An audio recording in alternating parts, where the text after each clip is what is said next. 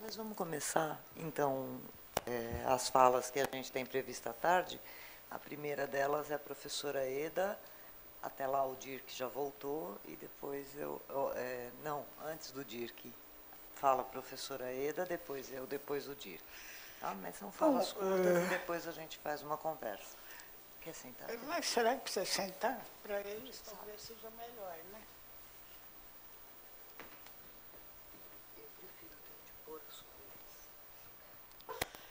É, eu tinha preparado uma fala, mas depois assisti o filme, achei que a fala talvez seja inútil. Né?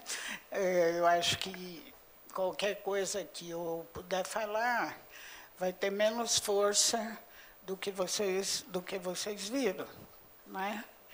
É, o que eu gostaria de salientar, colocar em discussão aqui, é que uh, esse filme eh, foi um, um, filme feito com uma dedicação política, com total uh, convicção, quase de militância, é? em defesa da demarcação das terras indígenas Yanomami. Né? E ele foi impactante, porque uh, isso era em 1985, mais ou menos. Né? O Brasil estava saindo do período ditatorial, ainda nem tinha entrado na nova república, né? que começa em 88. É, havia essa discussão com relação ao problema das é, da preservação das, das culturas indígenas, né? associada à questão da demarcação das terras, ela vinha se estabelecendo já há tempo, desde a expedição Rondon, né? mudando de enfoques. Teve o grande trabalho da formação do Parque do Xingu, que era muito contestado pelos antropólogos que achavam que eh, não era a solução desejável, porque implicava aculturação, sei, pelo menos preservava, dentro de um mínimo de integridade, aquelas culturas que estavam ali uh, naquelas terras controladas e demarcadas. Né? O problema da demarcação das terras Yanomami, ele correu vários anos. A demarcação foi feita. Porém, nada do impacto desse filme mudou a própria situação do encontro com estas culturas, aí no caso especificamente a cultura Yanomami, embora o, o, esse filme rodou o mundo inteiro em festivais. É? E tinha esse apelo, um apelo assim humanitário, uma coisa forte, não, é? não modificou. Talvez hoje a demarcação aconteceu, mas os índios vivendo dentro das terras demarcadas, como vocês viram aí nos pré-demarcados, a degradação em que eles vivem, vivem numa espécie de um parque temático. Não é? Um parque temático que não pode trazer o que é irreversível e que foi objeto, inclusive, do nosso debate também aqui hoje de manhã não é? a questão de que o encontro, não é? ele não se dá com o, aquilo que é o cerne da reflexão da cultura erudita, ele se dá de forma a que o que existe ali são ações de diferentes temporalidades com forças de alta, de, de alta potência destrutiva daquela ordem pregressa. Né? Então, a sobrevivência no parque, como um parque temático,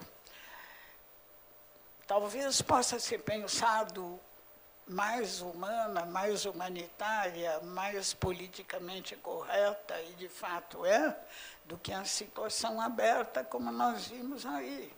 Né? Só que esse paradoxo, ele persiste. O paradoxo de que a nossa referência antropológica é uma cultura que não se expande com o Ocidente. Ela permite a expansão do Ocidente, mas ela não se expande com o Ocidente. Porque não sei nem se seria possível isso ocorrer não é? Porque necessariamente você ao encontro, ao encontro dessas culturas, dessas ordens culturais, são absurdamente desestruturante da ordem anterior. Tá? Mesmo com o cuidado que ocorreu, por exemplo, no Parque Nacional do Xingu, nós não podemos dizer que aquilo não seja quase um parque temático. É? Uh, porém, é o que nos resta, a demarcação das terras indígenas, que está em perigo, nesse, está em ameaça nesta nova configuração que parece que virá assumir o Estado brasileiro. É? Então, nós temos esse grande paradoxo é? da ética, da temporalidade, da civilização, como nós colocamos aqui como objeto desse debate. Não é? A paisagem ali, para nós, qual é? Para eles, qual é? É? que, que nós podemos pensar como uma construção intencional de um futuro em relação a este encontro que seja pautado pelo bem comum? Será que podemos fazer mais do que a demarcação? Ou necessariamente teremos que produzir a biculturalidade a ponto de que se chegue a constituir um ser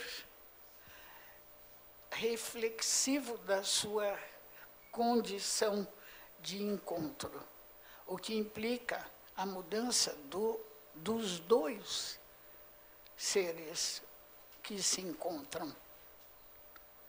É? Os dois que se encontram. Então, esta é uma grande tarefa.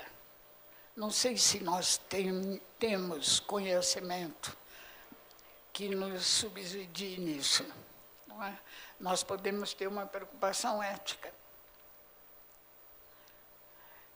Mas a irreversibilidade se impõe. E se nós quisermos eticamente superar isto, nós temos que nos colocar num ponto de vista superior da ordem cultural recíproca, o que é também uma tarefa ainda desconhecida, fora do campo da antropologia ou da política, talvez no campo das religiões. Não é? é mas como nós vimos aqui, também o mundo da comunicação com o sagrado é muito difícil de se intercomunicar. Não é? Nas cerimônias que vocês viram do xamanismo, claro que é uma interpretação artística, digamos, não é? mas ela opera imagens, opera sons do, do local, ela sugere, né? Ela sugere a impenetrabilidade para aqueles que não pertencem àquela ordem cultural. Então, mesmo no campo da comunicação com o sagrado, ou talvez até principalmente aí, nós temos esse paradoxo né, que a intenção sozinha não é suficiente. Não é? E, então, que mais eu posso falar? Não sei. É, eu acho que está visível, não é? E, e eu lembro que em 1991, eu e a Maureen Beziliar, quem estava aqui de manhã, viu que ela estava presente aqui, organizamos uma mostra, um evento, dois meses de evento, que chamava o Índio Ontem, Hoje e Amanhã. E nesse ciclo de seminários vieram índios, índios documentaristas, eh, tinha uma seleção de filmes de 50 anos mostrando a, a mudança da imagem do índio e tal. É, veio o Ailton Krenak, um líder indígena dos Krenaks, muito inteligente, e ele fez uma palestra intitulou O Brasil está se construindo em cima de cemitérios.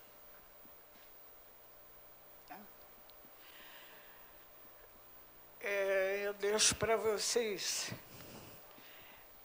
essa, esse título, que ele cabe muito na situação que nós estamos vivendo nesses momentos, não é? É a sensação de morte, de, se, de que nós estamos prestes a formar um mausoléu do passado. O mausoléu não significa que vai morrer a memória, mas precisa ter a consciência do mausoléu. Então, o Brasil está se construindo em cima. Eu vou falar sobre duas coisas indígenas. Uma que é essa advertência política muito dura do Ailton Krenak, e outra do Daniel Munduruku, que o Daniel Munduruku, quando nós fizemos um seminário que chamava-se o lugar da psicologia ambiental no estudo das questões ambientais em 2000, 2002, uma coisa assim. Eu convidei o Ailton Krenak e ele disse que não podia vir, que era muito longe, indicou o Daniel Munduruku. E ele chegou e perguntou: o que, que você quer que eu fale? Eu disse: não sei, o que você quiser. Você quer que eu fale alguma coisa sobre o ambiente? Eu falei, não, o que você quiser. Ele falou, então eu vou falar sobre piolhos. Eu pensei que era uma brincadeira, que ele ia falar sobre piolhos. Aí ele foi e fez a seguinte, contou a seguinte história. Que o Darcy Ribeiro, o antropólogo, porque aqui tem tanta gente jovem, nem, lá, nem sabe mais quem foi Darcy Ribeiro.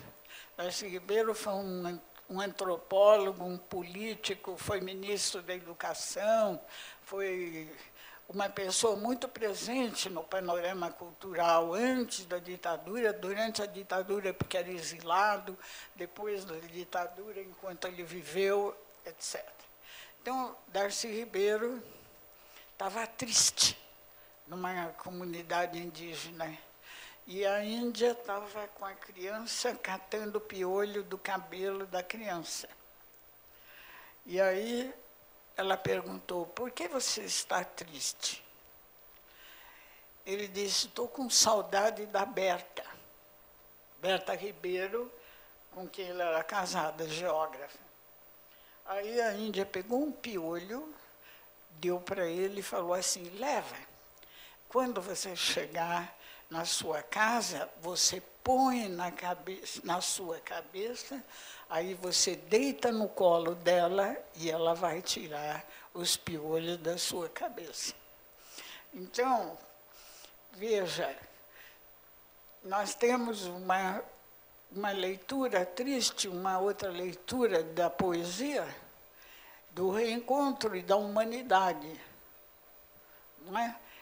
Humanidade que a gente vê aí, você começa a ver o, aqueles olhos, aquelas orelhas, aquelas bocas, não é? Vão te dizendo que é um homem, que é um ser humano. É até difícil a gente achar isso. Não é?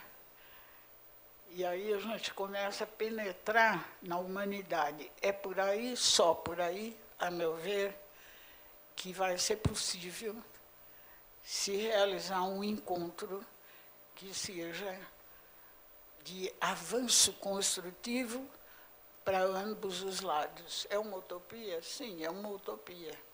Mas a gente não vive sem piolhos, não é? Então vamos vamos pensar que precisamos acreditar que vai ser possível isso. Depois vamos abrir para o debate. Não é, eu acho que não tenho mais o que dizer, a não ser que vocês reflitam sobre isso. Certo? Agora, essa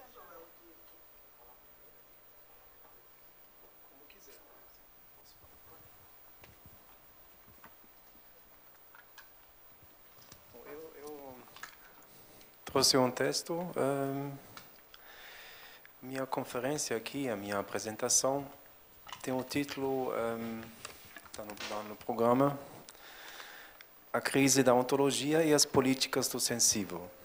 Um, é uma continuação de um trabalho do primeiro um, seminário internacional, a paisagem como paradigma político, e mas também uma uma certa ligação com aquilo que vimos agora e que foi falado pelo Paulo pela parte da manhã. O conceito eh, ontologia é, em primeiro, nada mais, nada menos, a designação para as diferentes doutrinas do ser, do ente, na sua totalidade. Ontologias podem ser designados como disposições do ser Assim que um autor como Philippe Descola, por exemplo, na sua obra Par de la nature et culture, diferencia entre quatro ontologias fundamentais: o animismo, o totemismo, o naturalismo e o analogismo. Eu não vou entrar agora nisso porque também é muito é, vasto aqui o estudo dele, mas é só para uh, mostrar como ele diferencia entre diferentes ontologias. Ontologias são, desse modo, formas e normas de explicar, compreender e realizar, isto é, viver uma determinada ordem e estrutura do ser doente de uma específica sociedade ou comunidade, ou num termo mais abrangente, de uma determinada cultura. Qualquer cultura possui a sua estrutura ontológica, que é, como explicado mais para frente, a sua forma de se situar na e contra aquilo que é aparentemente predeterminada a natureza. Há muitas ontologias desenvolvidas durante a história da filosofia ocidental.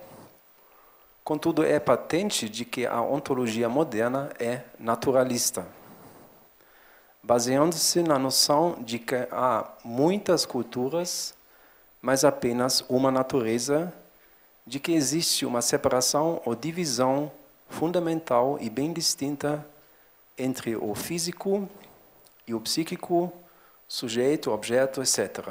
Isso também se encontra na obra do Felipe Descolar. Mas antes de mais, a noção é específica sobre a assim chamada natureza, em diferença com a assim chamada cultura.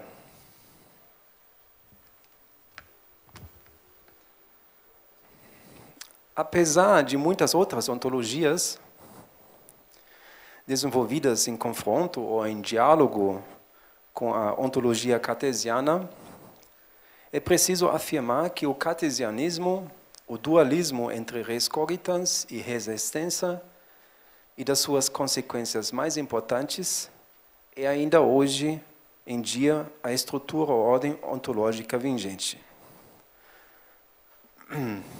Com grandes efeitos colaterais para a humanidade e a inteira biosfera, a ontologia cartesiana é marcada pela diferença entre corpo físico e mecânico e o espírito, o pensamento, pela dúvida metodológica e sistemática que atinge tudo e todas as aparências externas, pela elevação do ego cogito e assim do eu como única aparência indubitável e como fundamento inabalável da nossa compreensão do mundo.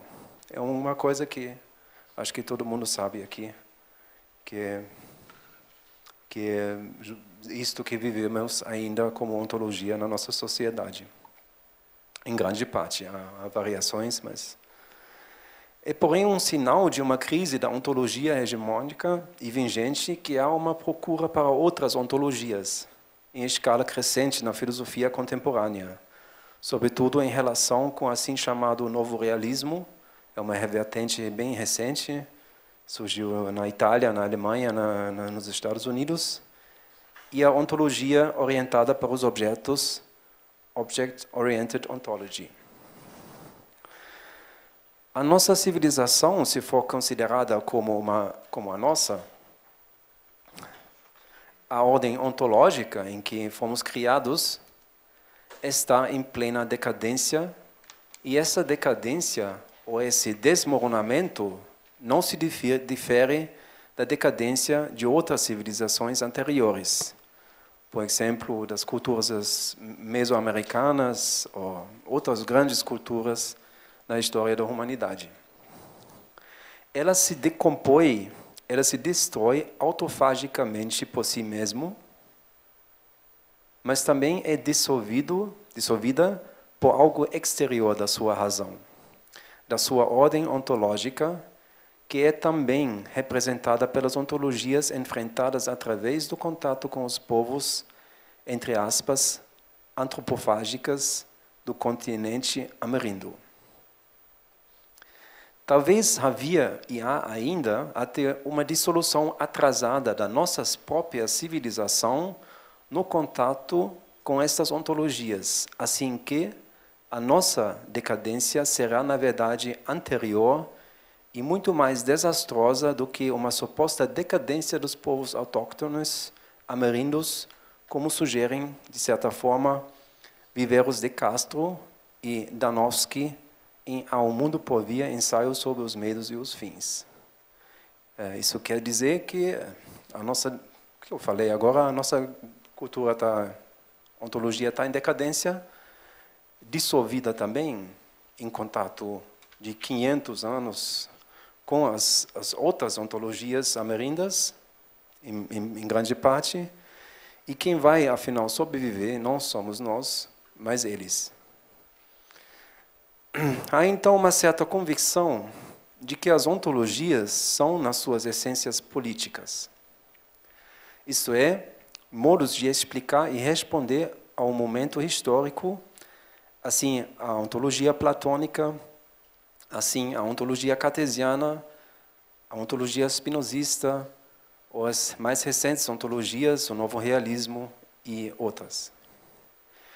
Podemos assim afirmar novamente que vimos em grande parte ainda sobre a estrutura e ordem da ontologia cartesiana, que por si é nada menos do que uma resposta política isso se encontra um autor uh, que se chama Antonio Negri, um espelho dos inícios da época moderna, da concentração ao indivíduo, da dúvida como método de apropriação, o distanciamento e o passo para trás perante o mundo dos objetos, a separação contínua e crescente entre sujeito e objeto, a criação de uma imagem do mundo a objetivação total dos objetos e do mundo físico e também muito é, resultado, um efeito dessa nossa ontologia, obviamente tem outras razões, do capitalismo e do protestantismo, etc. É, para leitura, aqui é, vocês podem se referir a um ensaio do Heidegger, A Imagem do Mundo, ou, Max Weber, a, a Ética Protestantismo do protestante, por exemplo. o que o que consta a dúvida como método de apropriação, não sei se dá para entender isso, mas se eu duvido alguma coisa, eu, eu faço o primeiro passo, no meu ver, também de objetivar, de me apropriar daquilo que, do que estou duvidando. Então, é uma, uma, uma força muito, é, muito forte da cultura ocidental de racionalizar e de duvidar a tudo, de não... É, ponto, eu vou continuando então. Mas toda a ontologia é política, contudo apenas a partir do antagonismo entre política e natureza. Sendo assim, toda a ontologia uma política da natureza. Sendo a política, antes de mais, uma resposta não só à relação dos humanos com os humanos, como sugere a palavra grego polis, isto é, dos assuntos daqueles que habitam a cidade e que vivem sob as leis da polis, mas sim uma resposta àquilo que se situa fora dos muros da cidade, que é o outro, o totalmente outro, o não humano e designado como o natural e na sua totalidade a natureza. Surge então com a política, desde os seus inícios, a necessidade da subjugação, regulamentação e instrumentalização e, em geral, do controle e do domínio do humano, da cultura, sobre, sobre não, o não humano, a natureza. Esse antagonismo entre política e natureza, que marca grande parte da história da política até o presente, será apenas ultrapassado a partir do Renascimento e a partir do surgimento da estética no meu ver. Com o surgir da estética, ou mais preciso, da formação da faculdade sensual e sensitiva, da percepção do mundo como algo belo e já não apenas tenebroso, surge também a possibilidade de superar o antagonismo bélico entre a esfera da política e a natureza.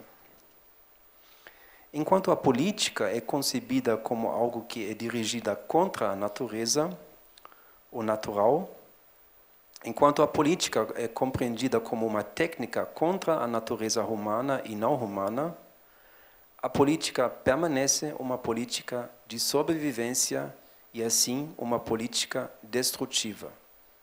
Então a minha tese aqui é que é, também não é só minha, é, que a política surge do confronto com o natural, do reino da necessidade e um,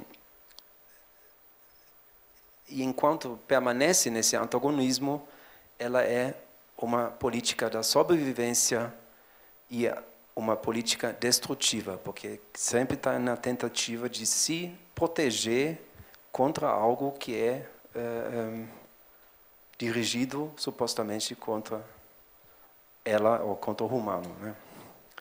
Mas uma política que não corresponde, corresponde mais a esse antagonismo, que é uma estética no sentido de uma aestesis, de uma compreensão pelos sentidos ou de uma faculdade dos sentidos, é uma política da vida, é uma política do sensível. Uma das definições mais correntes da natureza é a natureza como o reino da necessidade, que é oposto da polis, que seria o lugar da possibilidade, e a política, a forma de construção das possibilidades. Mas uma política do sensível não se refere mais a uma política compreendida como uma forma de libertação do humano das determinantes e necessidades naturais. A virtude da política de possibilitar a libertação e instaurar o reconhecimento já não hoje em dia realizável apenas para humanos. O que será preciso é de libertar todas as formas de vida, como vimos também hoje de manhã, proferido pelo professor Paulo, sendo ainda mais também necessário, também ouvimos de manhã, de ultrapassar a ontologia vigente, de libertar também os objetos e libertá-los do círculo vicioso em que são metidos através da ação humana. Então, pôs-se aqui uma coisa muito grave. Se nós não se nós paramos de, de tratar os objetos como objetos, e se nós libertarmos os objetos desse círculo vicioso em que foram metidos, vai ter muitas consequências para a nossa cultura, vai ter uma, uma, uma, transformação muito grande. Por exemplo, se nós não tratarmos mais os animais como os objetos, eles vão se libertar e vão ser libertados, e isso vai significar muita coisa para, a nossa própria conduta e a nossa própria uh, uh, vida. As políticas do sensível é uma política do sentimento e do sensitivo e atinge a necessidade fundamental do sentido, dos sentidos e do senso em geral. A política se refere ao modo de se relacionar com o outro e tratar o outro. Mas uma política que não inclui mesmo o outro e que se refere apenas ao próprio da própria espécie não é nada mais do que uma política solipsista. Uma autêntica política inicia com a inclusão e o reconhecimento do totalmente outro no discurso da libertação e não se refere simplesmente a uma libertação individual e solipsista, isto é, dirigida apenas ao humano, demasiado humano. É por isso que a política que se ocupa também e principalmente com o totalmente outro é uma escola. Escola, tempo livre da sensibilidade e sensitividade. Justiça, igualdade e liberdade, que são os conceitos centrais da política, né, como é entendido normalmente, se refere, se refere assim necessariamente ao inapropriável de todo ser vivo, que é a própria vida, onde o sensível surge como uma suprema possibilidade de entendimento do totalmente outro. Na compreensão comum e vigente, de forma ideológica, as ciências naturais estabelecem e fundamentam o conhecimento geral sobre o natural como algo determinado e apropriável como matéria, inteligível e manipulável, enquanto a autêntica essência do natural se retira constantemente de qualquer apropriação. O humano pode manipular, analisar e dissecar o natural, mas na sua essência o natural permanece inconcebível e inapropriável. Acho que o Paulo também falou disso hoje de manhã, que a natureza é algo, algo que se se mostra e se esconde ao mesmo tempo, que é, por isso é ligado ao conceito da aletheia. Ela aparece, mas também se retira. Ela é inapropriável. Se trata daqui do natural como o fundamento sem fundamento, ou da razão irracional de todas as formas de vida, de vida e da existência em si. No presente excurso, como no excurso anterior sobre a política da paisagem, pretendo demonstrar de que o corpo vivo e a paisagem se apresentam como representações da ausência, como representações desse fundamento infundado.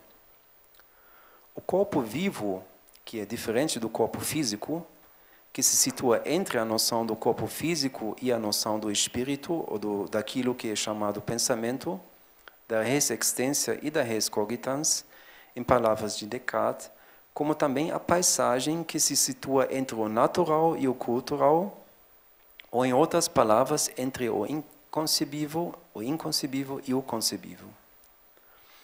Ambas as aparências de ausência se apresentam como o terceiro, como apresentações do inapropriável e assim, no meu ver, como origens anárquicas da vida. Numa futura política do sensível, o corpo vivo e a paisagem formam o núcleo e os pontos de partida de um outro acesso à vida na Terra conduzida pela sensibilidade pluridimensional e não dualista. Por isso, pela sua característica anárquica e inapropriável, a política do sensível não corresponde ao campo da biopolítica, que analisa e critica o processo histórico e atual da manipulação e domina dominação do corpo físico dos seres vivos, sobretudo do animal humano e não humano. Aí eu vou continuar um pouco mais programático, estou terminando também. As políticas do sensível se desenvolvem a partir do inapropriável do sensível, de uma política do corpo vivo e da paisagem, da noção de que o antagonismo original entre natureza e política, entre o estado da necessidade e o estado da possibilidade, é superada na assunção da estética, compreendida como um ensino na faculdade do sensível como uma aesthesis, não como arte. As políticas do sensível não se sustentam na arte, não só, né? que será apenas uma das suas expressões e ferramentas, sendo antes de mais uma política dos sentidos, embora também não tanto dos afetos, interpretando aqui os afetos como as ondas impulsivas dos corpos vivos.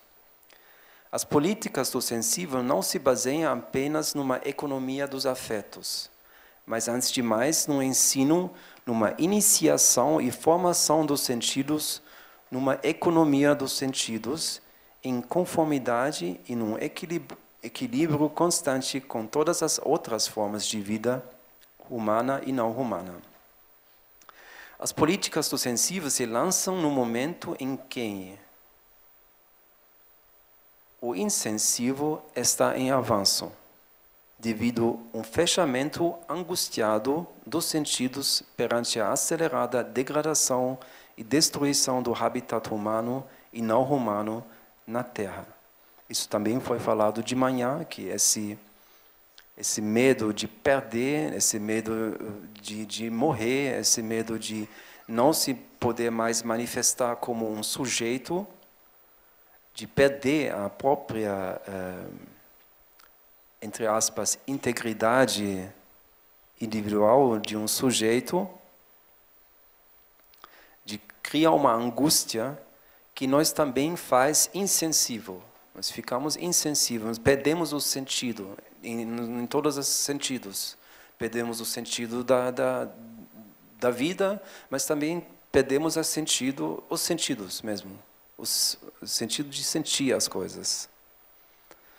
Eles também se lançam, as políticas do sensível se lançam também no momento em que, já desde cedo, o início da Idade Moderna e da nossa concepção do mundo como imagem no Renascimento, a preferência do sentido visual é quase total e encobre todas as outras outros sentidos, assim, antes de mais, a plurissensibilidade da vida. Então, as políticas do sensível que eu propus aqui é, também se dirigem contra essa monopolização dos sentidos no sentido visual que acontece, aconteceu a partir do Renascimento, na verdade, da perspectiva central e tudo, e da invenção das imagens técnicas e dos dispositivos técnicos que reproduzem imagens. E nós vivemos hoje em dia uma, uma, uma forma muito fechada da, das nossas nossa sensibilidade e sensitividade que é só dirigido ao visual, ou muito dirigido ao visual. E as políticas do sensível seria uma, um, um retorno para o corpo vivo e da sua plurissensibilidade para abrir também os outros sentidos a uma vida mais uh, eh, um, mais variado e não dualista. É, essa é a minha proposta aqui hoje.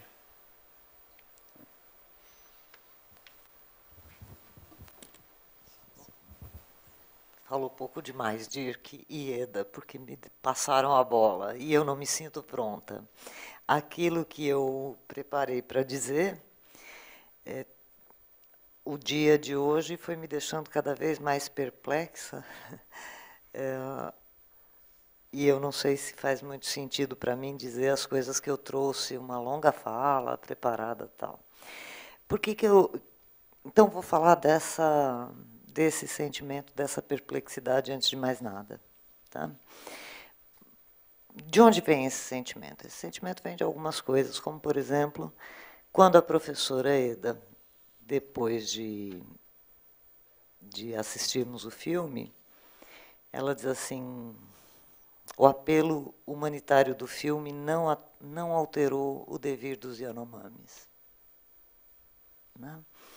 É, de certo modo, é como se eu tivesse é, o tempo todo ouvindo hoje, não sei se alguém compartilha esse sentimento comigo, alguma coisa que não me, não me aponta saídas. O professor Paulo Borges diz assim, não querendo ser nihilista ou parecer nihilista, mas no fundo é, tem alguma coisa que nos deixa atônitos quando a gente pensa nesse encontro de culturas diferentes que tem uma visão, que tem temporalidades, como disse a professora Eda, temporalidades diferentes, que engendram situações em que, por um lado, não basta boa vontade, por outro lado, muitas vezes as tentativas de reação é, as tentativas, para usar algo que o professor Paulo Borges disse, né, as tentativas de, de reação, de, de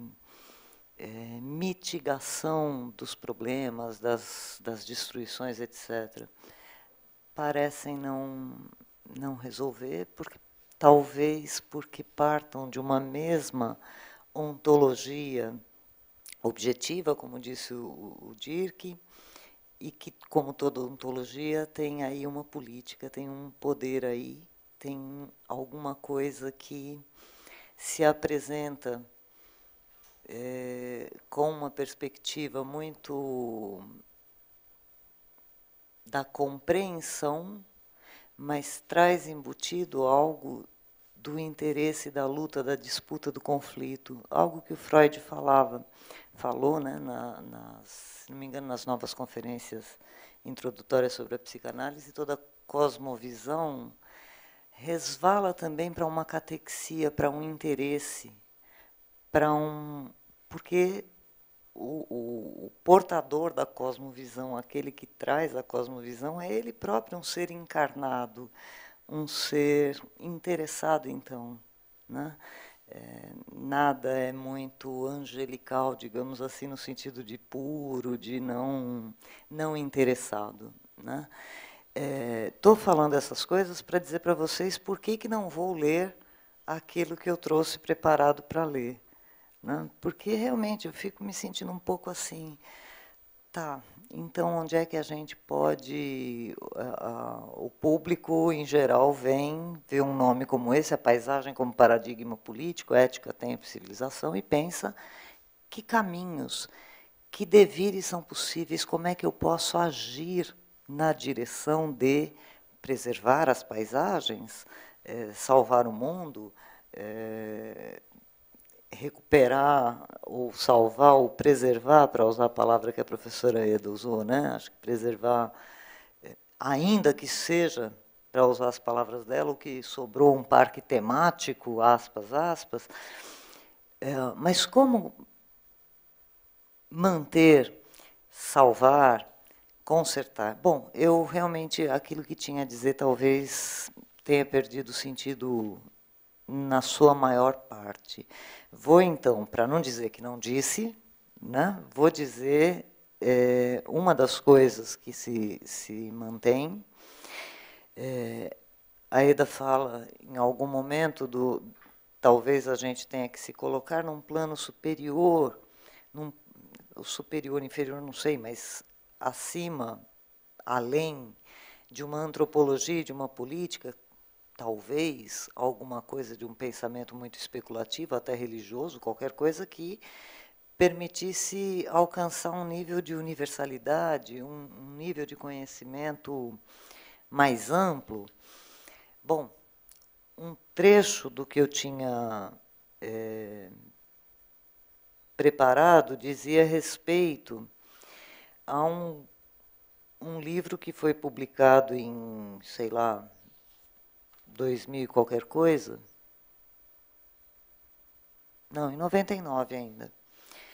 Entrevista sobre o fim dos tempos, em que o Jean-Claude Corriere, Carrière, Jean Delumeau, Humberto Eco, e o Stephen Jay Gould foram entrevistados na virada, o próximo da virada do milênio, foram entrevistados a respeito dos fins do, do fim dos tempos, né? Daquela, daquele medo. O Delumeau diz esse medo nem existe muito, nunca se, se verificou muito na história, mas de um certo medo que nos assola de um fim do mundo. É, de tempos em tempos a gente fica um pouco, a gente, eu digo, a nossa civilização fica um pouco assim, ah, meu Deus, o mundo vai se acabar. Né? Ah, bom, o Carrier fala, para responder a algumas perguntas desses, desses entrevistadores sobre o fim do mundo, ele faz uma, um contraste entre é, duas maneiras de abordar o tempo que ele vai chamar, vai, vai resumir. Claro, o que eu trouxe foi um resumo do resumo. Né? O tempo cíclico dos hindus e a seta do tempo dos judeus cristãos. Né? Então, ele contrasta essas duas temporalidades, então, essas duas maneiras é, culturais de se perceber o tempo e de se lidar com o tempo.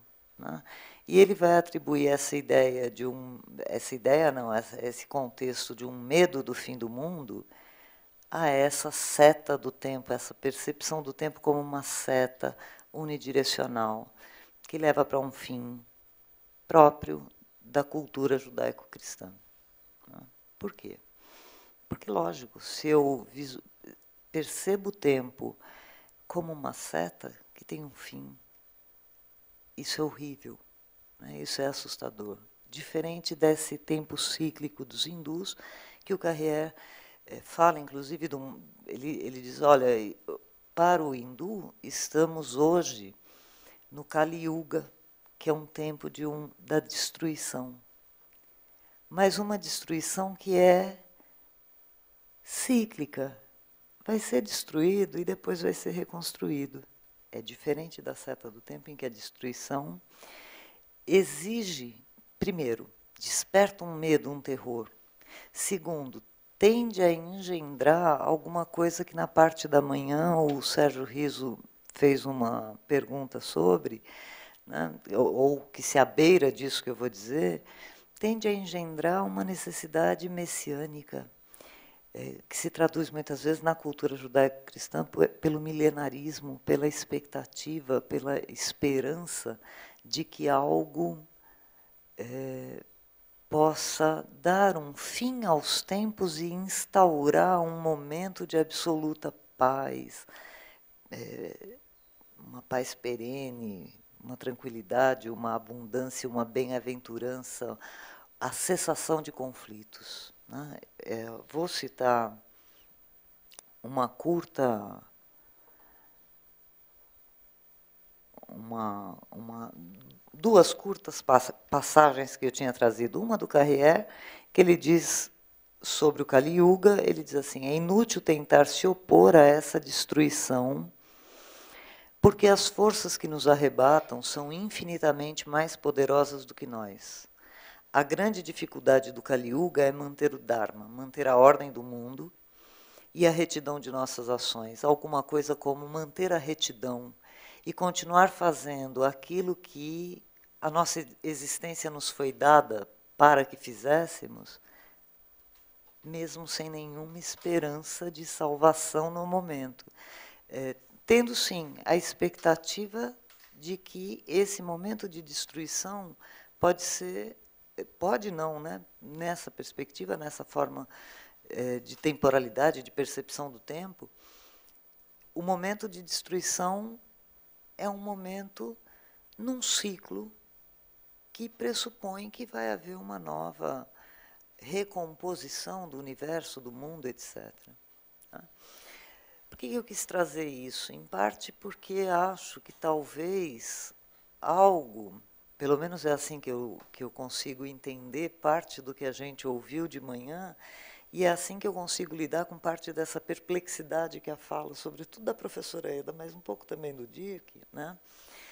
nos traz do é possível fazer algo? Bom, se a boa vontade não basta, como construir esse futuro intencional que desejamos, etc. Como é, retroceder em algumas, alguns caminhos de destruição, de, de, de desorganização, de, de, de, Como é que eu chamaria? A palavra é forte, mas é essa mesmo, de degeneração do mundo, do mundo humano, que, que a gente não vê como pode é, regenerar. Né?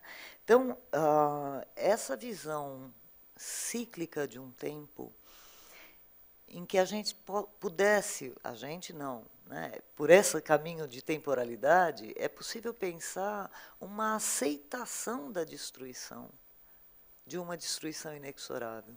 Tem, o Carrier mesmo levanta, o desafio é você manter a retidão na conduta, etc., sem esperar uma salvação, manter mesmo aceitando que a destruição é iminente e inexorável, que é, me parece, uma das dificuldades que a gente encara hoje.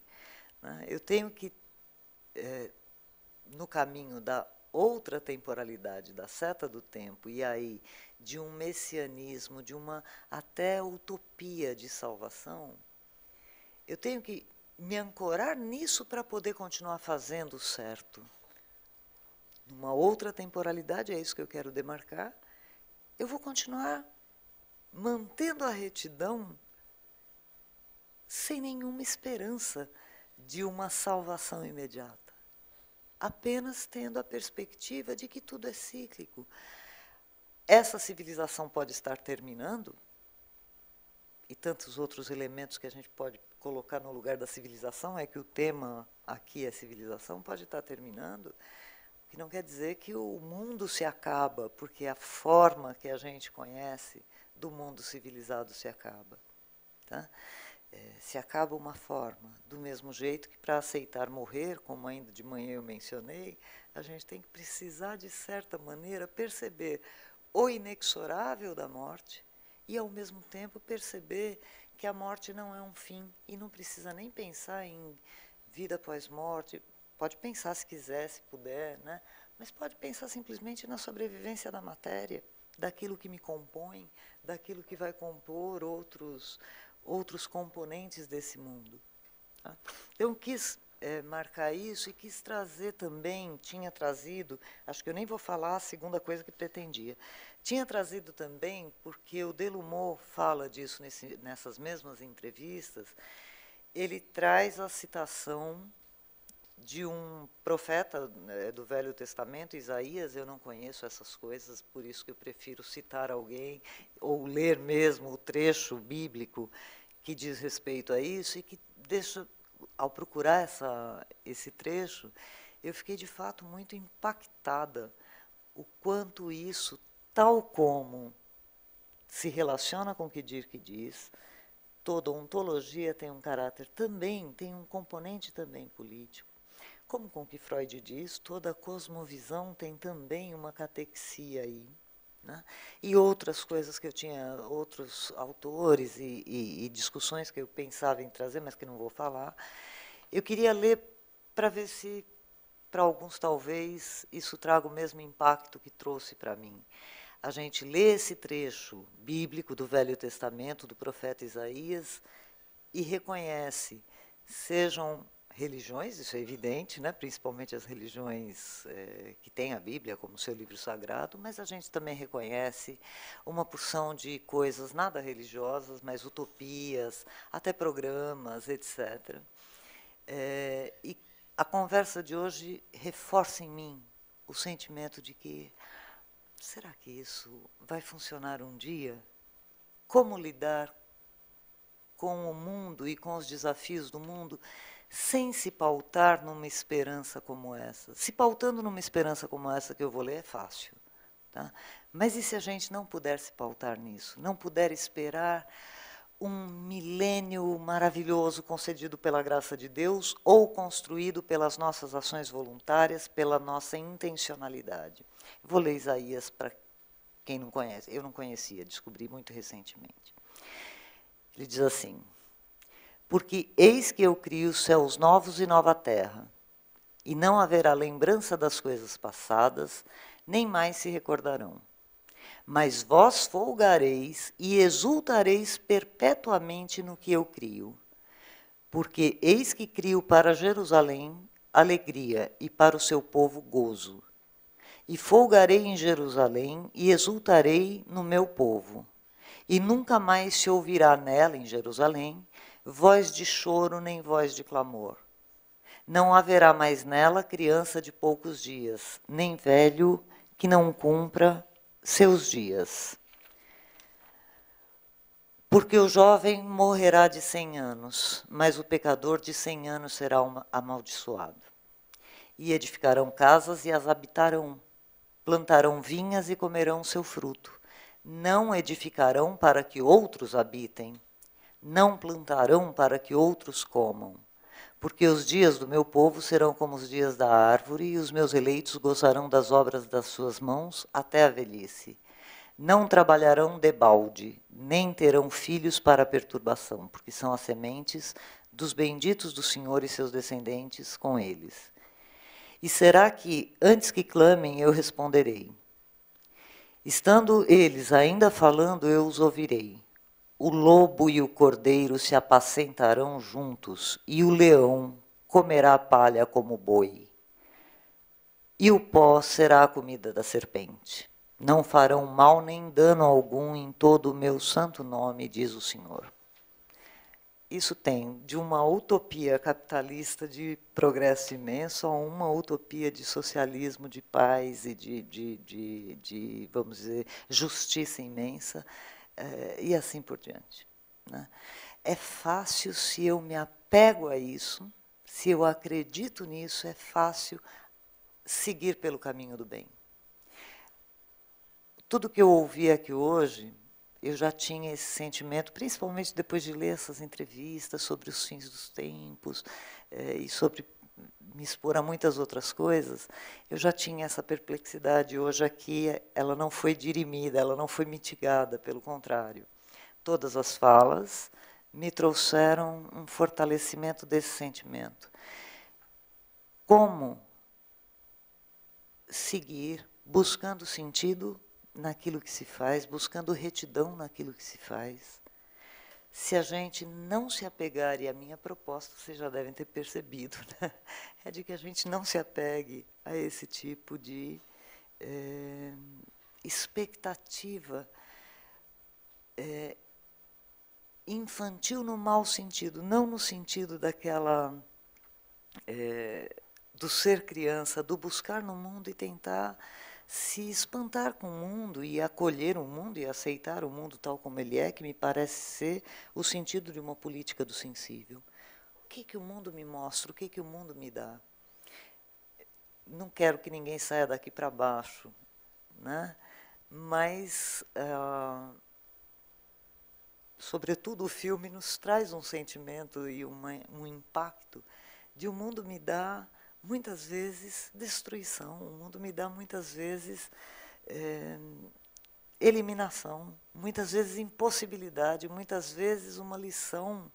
E essa lição em si não precisa ser de todo amarga. Uma lição de que a minha vontade e a minha ação não basta. Tá?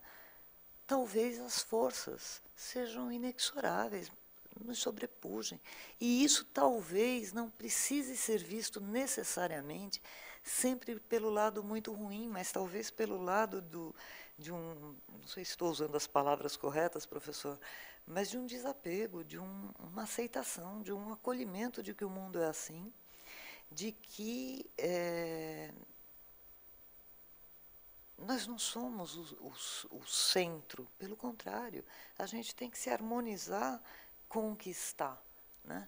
É, acho que é possível, prefiro isso, prefiro essa visão um pouco mais de um tempo cíclico, em que o mundo não se acaba de uma vez por todas só porque o Kali Yuga chegou, ou coisa que o valha. Né? É, o mundo é maior do que nós. É? Prefiro isso do que uma, uma certa dependência, uma certa. Como é que eu chamaria?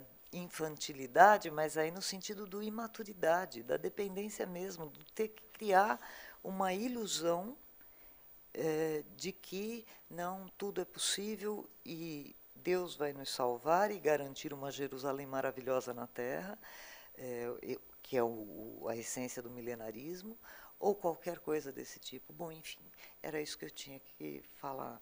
Tem algo. Quer dizer, na verdade eu pretendia falar do ethos, de uma outra perspectiva que eu tenho, mas não, não acho que cabe. Acho que cabe dizer isso. E, e, e se, se ajuda, se serve como desculpa, é, por eu me preparar para dizer algo e não dizer, é assim, tanto. É, por coincidência não foi pensado assim, mas para grande parte do que o Dirk trouxe, do que o Paulo Borges trouxe, do que eu teria trazido, vai estar num e-book que há de ser lançado ainda esse ano. O que a professora Eda, a professora Eda está representada no e-book também, não exatamente com o que ela trouxe hoje, né? Ah, então, enfim, abro mão de falar mais e vamos à conversa. Queria ouvir, essa é a programação, né? Primeiro o professor Paulo Borges fazer considerações sobre esse nosso dia e depois abrimos para conversa com todo mundo.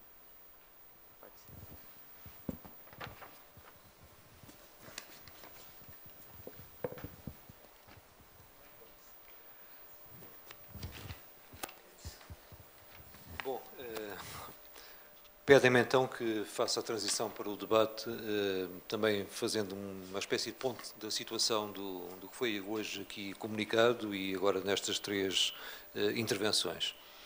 Eu creio que todas as, as intervenções do, da professora Eda, da professora Sandra, do, do eh, obviamente se confrontaram com, esta, com este sentimento geral que todos nós temos de estarmos num, num tempo de, de, crise.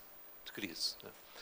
crise com o que uma crise implica, que é sempre uma experiência de falência de um determinado paradigma, neste caso de civilização, eu diria até mais profundamente de cultura, da cultura que está na base de uma civilização, mas também crise, como tive a oportunidade de referir hoje de manhã, no sentido de uma possibilidade de, uma no, de um novo começo, de um novo início e, eh, ao mesmo tempo, com todas as perplexidades e todo o sentimento de paradoxo.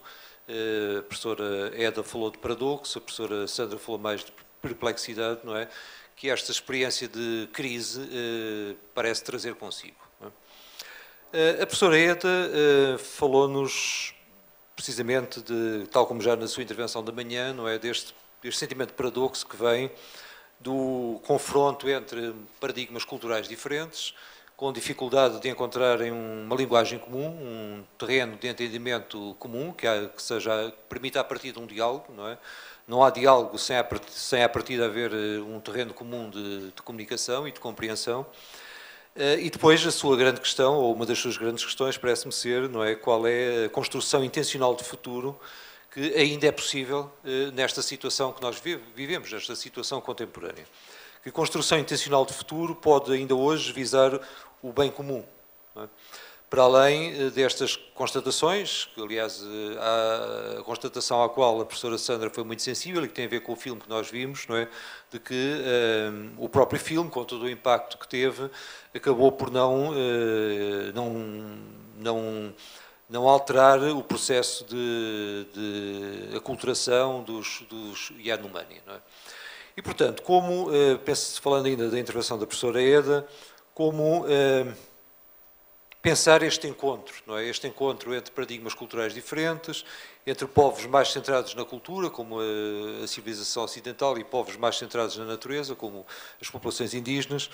Eh, e uma coisa muito importante, a meu ver, que a professora Eda disse, é que talvez esse encontro, esse encontro implica sempre a mudança dos dois seres que se encontram, não, é? não, não tem consequências unilaterais apenas, e porventura ele implica ou desafia-nos ou convida-nos a nós colocarmos-nos num plano superior superior no sentido de transcender as posições em confronto. É? E de sermos capazes de olhar para esse confronto a partir de um ponto de vista, eu diria, superior no sentido mais englobante, que nos permita um horizonte de compreensão mais, mais abrangente. Eh, e, como diz a professora Edith, isso é uma tarefa para nós desconhecida. Uh, implica muita mutação em termos de antropologia, em termos da política, porventura implica uma outra experiência do sagrado, mas ela diz-nos que a experiência do sagrado em princípio, é muito difícil de se intercomunicar, não é? Portanto, há todas, essas, há todas estas aporias. Nós vivemos aqui uma situação de aporia.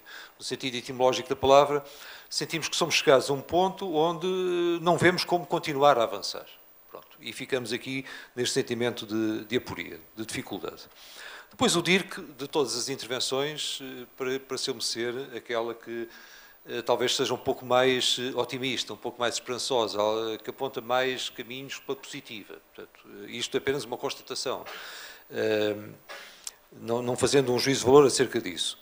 Eh, ele fala-nos de, de, que cada cultura tem na base uma determinada estrutura ontológica, obviamente fala-nos da crise da estrutura ontológica da nossa cultura, fundamentalmente a, a, ontologia cartesiana, uma ontologia dualista, da separação entre o sujeito e o objeto, do centramento no indivíduo, da tentativa de dominação do não humano pelo humano, eh, consumada neste ciclo de civilização capitalista, eh, e depois fala-nos, dá-nos procura abrir-nos caminhos para uma saída deste, desta situação, em que, eh, porventura, eh, fosse necessário pensar uma política da natureza, uma política do sensível, uma política do sensível não só como eh, não só centrado num dos sentidos, como o da visão, que é o sentido predominante neste ciclo de civilização, mas uma política da plurissensibilidade ou da multissensibilidade do, do ser humano, uma política também da vida, no sentido em que eh, fosse necessário libertar a vida, não só a vida humana, mas a vida de todos os seres, e falou-nos das imensas consequências para a nossa cultura, para a nossa vida, para as nossas formas de vida sociais e individuais, desta preocupação, por exemplo, em libertar a vida dos outros seres não humanos, nomeadamente dos animais. Eh, uma política, neste sentido, aberta ao totalmente outro, uma política não solipsista, não, não centrada apenas no humano, demasiado humano, a respeito disto, parece, pareceu-me que propõe uma nova ontologia do corpo, em que surge uma nova categoria, que é a categoria do corpo vivo, que seria uma espécie de mediador entre o espírito uh, e o corpo físico, uma espécie de operador de uma passagem entre a natureza e a cultura, uh, entre o inconcebível e o concebível, uh, e que pudesse finalmente.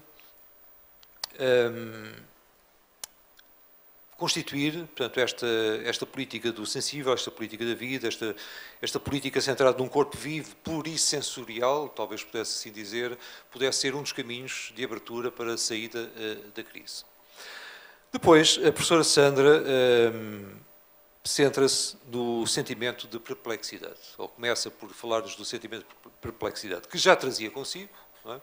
e que nos diz que se agudizou perante as intervenções deste dia, desde a manhã até às intervenções uh, desta tarde. É?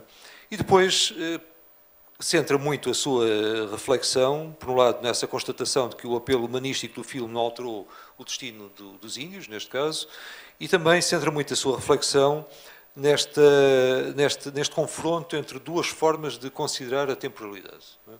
Portanto, uma, a, a forma cíclica, própria do, da cultura hindu, da cultura indiana, de um modo geral, não só hindu, do hinduísmo, eh, e, por outro lado, a concepção de um tempo linear, um tempo certo, um tempo projetado em direção a um fim último, um tempo teleológico, não é?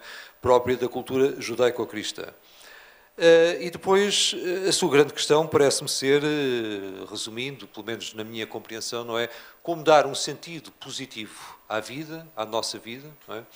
Um sentido onde ainda seja possível manter ou tentar manter uma retidão de conduta, um ethos fundamental, sem pressupor que a vida tenha um sentido último que seja eh, finalmente pacificante e reconciliante de todas as contradições do processo da história ou da própria tensão entre a natureza e a história. No fundo, é como dar um sentido positivo à vida, como viver de uma forma digna, com sentido, uh, abrindo mão de todas as escatologias tradicionais da cultura ocidental. A professora Sandra centra-se mais na escatologia messiânica da tradição judaico-cristã, portanto, cita uma passagem paradigmática de Isaías, não é, que é a grande reconciliação final, portanto, os tempos messiânicos como tempos não só de reconciliação entre os humanos, mas de reconciliação dos humanos com a natureza e de reconciliação dos próprios animais entre si, porque o, leão habitará, ou o lobo habitará com o cordeiro, etc. Não é? Eh, isso para nós é de facto algo estranho, para as concepções que nós temos habituais da natureza, do, dos animais. Não é? Curiosamente, eu reflito, tento fazer uma reflexão aprofundada sobre isso num dos meus últimos livros, é precisamente uma antologia de textos sobre os animais. Eu faço um estudo introdutório onde centro boa parte da minha reflexão nesta, no comentário desta passagem de, de Isaías e no, na importância que ela tem eh, em termos de, de, uma possibilidade de uma paz que não é apenas intra-humana, mas é uma paz entre espécies. É?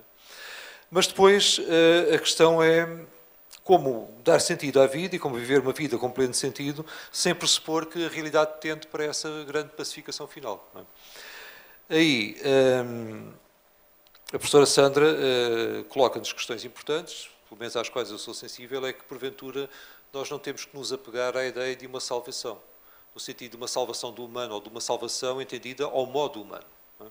Nós não temos que nos apegar à ideia de que um, o fim de uma forma do mundo, o fim de uma cosmovisão, o fim de uma civilização, com a imagem do mundo que lhe é intrínseca, seja o fim do mundo.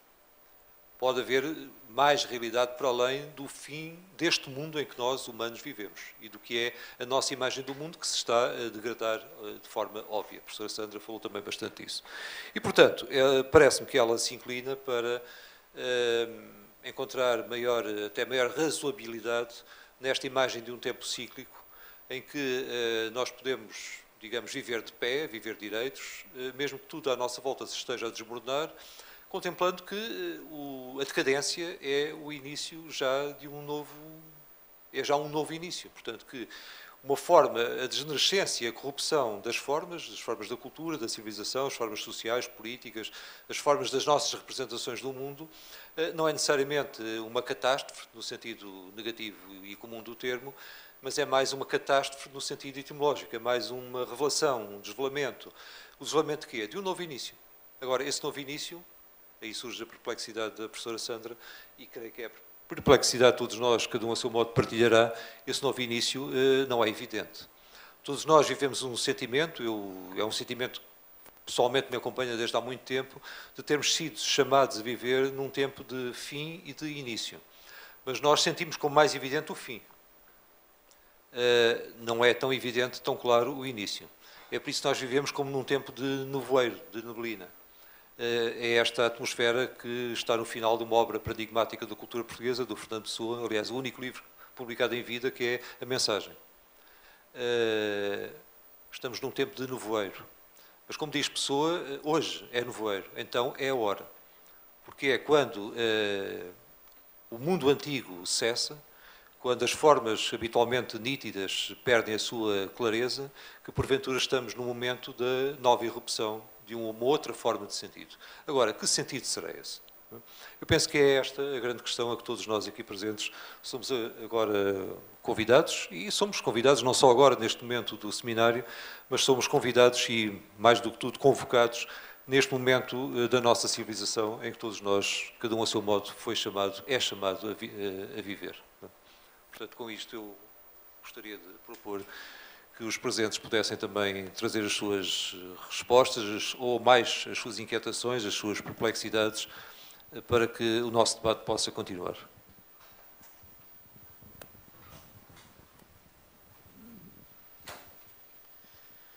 É, eu fiquei muito feliz quando a Sandra é, colocou o sentimento de perplexidade. Eu acho que isso atinge a todos nós hoje, né? É, quer dizer, um filme que foi feito há mais de 30 anos e a gente fala, e aí? Né? Então, a, a ideia, a, a, o, o, sentimento de perplexidade é, nos leva a essa, a essa situação de que é, ficar com a expectativa de que ah, não, isso tudo vai passar e então vai vir um mundo belo como Isaías propõe. É, mas no, no cerne do que Isaías coloca e no cerne de todas essas ontologias, é, há, uma, há, uma, há um mistério, há, uma, há uma, um chamado a um mistério que me parece bem nessa imagem do, é, é, do, zero, do, do, do zero egocentrismo, ou seja, é quando formos capazes de da perplexidade, irmos para a contemplação sem expectativa de salvação, então nós estamos abrindo o caminho para essa, esse, esse sentimento de uma zero é, é, é de uma consciência, de uma presença real daquilo que é, é, nos que, que nos caracteriza como seres humanos. É o, a, a convivência com a infinitude sem ficar esperando o fim ou um novo começo. É isso. Então eu fiquei bem contente quando Sandra colocou perplexidade.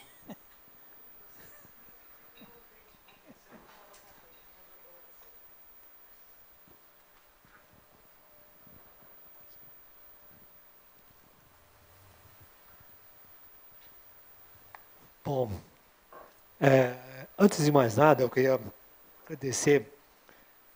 Todos aqui estão sabendo que nós, nosso objetivo é analisar essa política, essa ética, saber onde nós queremos chegar.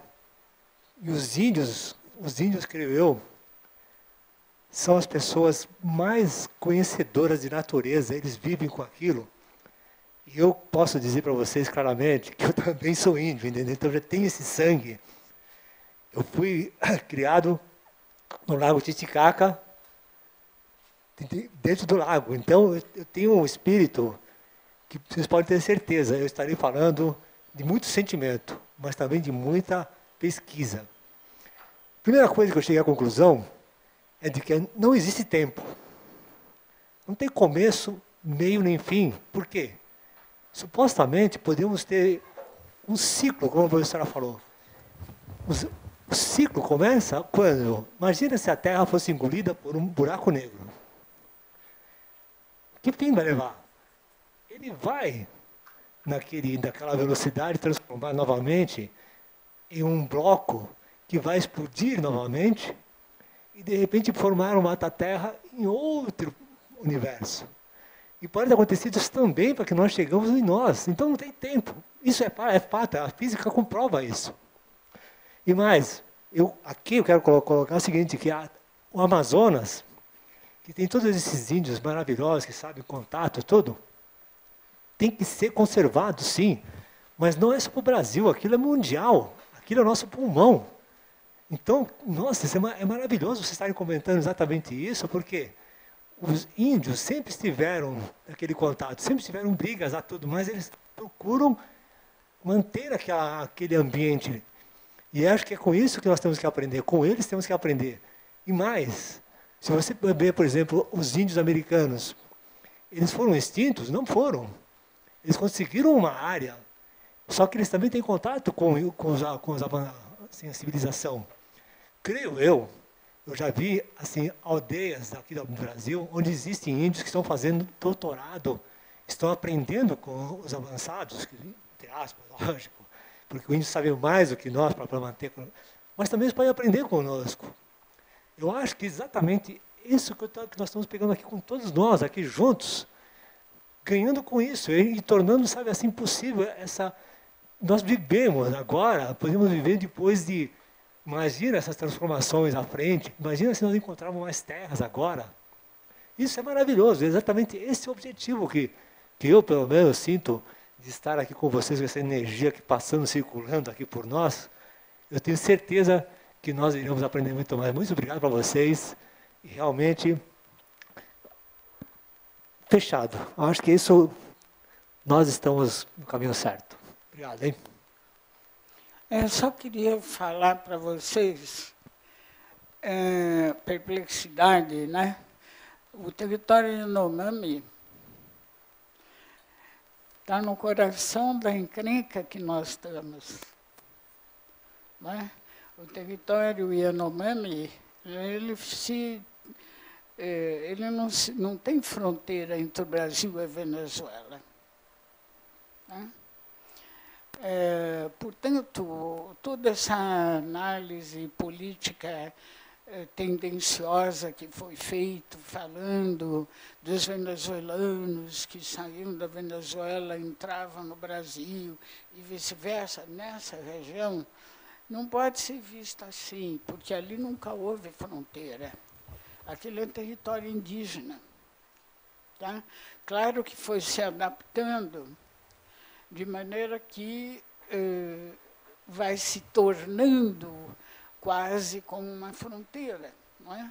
Mas o uso político disso traz um complicador maior para a questão, digamos, específica desta etnia. É? Eh, eles vivem ali na Serra de Paracama, ali na, na fronteira ali com a, nem é fronteira, o próprio general, não sei qual deles, um que está aí no governo, acho que Helena, não sei qual, falou, não, não dá para fechar a fronteira, porque estavam falando em fechar a fronteira. Claro, não dá para fechar a fronteira ali, porque não tem como fechar, porque é mata. Não é? E ela sempre foi de trânsito. Não é? Bom, Uh, é claro que a perplexidade aí se dá sobre o quê? É? Sobre a politização da fronteira, sobre a interpretação do trânsito e traz um agravamento do que nós discutimos antes se é que existe, o que, que permanece destas culturas originárias, né, porque elas estão muito miscigenadas e tal. Por outro lado, é importante a gente lembrar, vamos pensar ortodoxamente, nós estamos aqui na universidade, não é? A universidade tem que pensar como? Cientificamente seja nas ciências humanas ou nas ciências exatas da natureza, do que vocês quiserem chamar. Crítica e crise quer dizer a mesma coisa. Originariamente, no grego, crítica e crise quer dizer luta, decisão. É necessário decidir.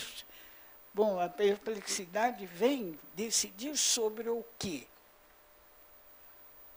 É?